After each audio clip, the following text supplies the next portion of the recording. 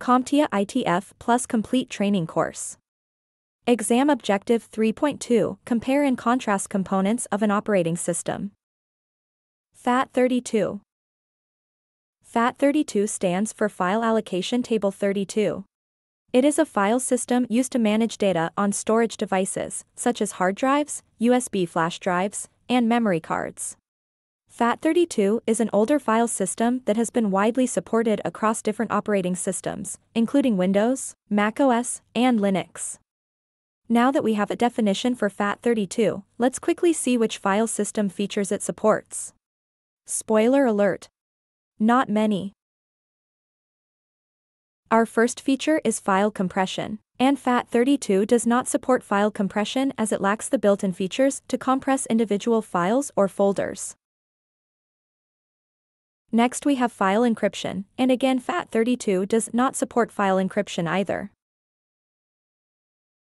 FAT32 also does not support file permissions as it lacks the ability to assign different access rights to individual files, or folders for different users or groups.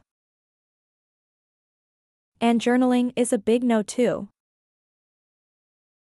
While FAT32 is widely compatible and accessible across different platforms, you can already see it is very limited. These limitations continue with its partition size restrictions.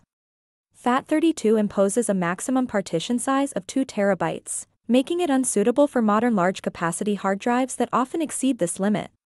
Another significant constraint of FAT32 is its file size limit. Individual files stored on a FAT32 formatted drive cannot exceed 4 GB in size. This limitation can be problematic when dealing with large video files, high-resolution images, or other large data files that surpass the 4 GB threshold.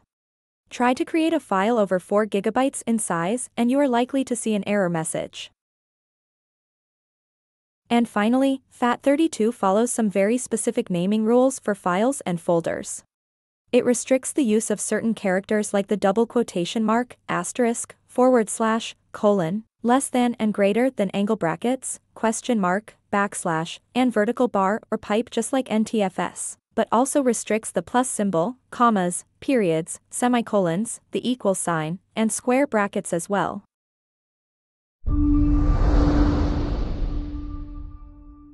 Thank you for watching. Subscribe for more great content.